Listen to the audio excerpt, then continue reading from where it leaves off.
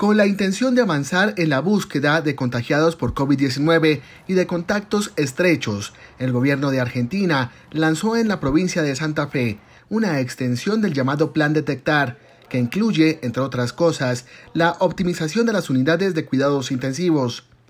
Así lo informó el ministro de Salud, Ginés González García. Lo que estamos haciendo es lanzar una magnitud, una potencialidad, una forma muchísimo más amplia del detectar que es este, realmente una de las estrategias fundamentales para la prevención. Por su parte, el presidente Alberto Fernández informó que el plan, puesto en marcha en Buenos Aires al inicio de la pandemia, se está extendiendo ahora a provincias como Santa Fe, uno de los distritos donde el virus está avanzando a mayor velocidad que en la capital y su área metropolitana, la más poblada del país y que durante los primeros meses fue la más afectada.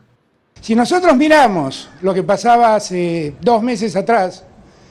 el 95%, 93% de los contagios ocurrían en el AMBA y solamente el 7% ocurría en el interior del país. Ayer mirábamos con, hoy a la mañana mirábamos con Ginés, el, aproximadamente el 65% de los casos hoy ocurren en el interior del país el jefe de Estado reiteró que su gobierno ha invertido desde que comenzó la pandemia 131,38 millones de dólares para llevar soluciones hospitalarias a todo el país.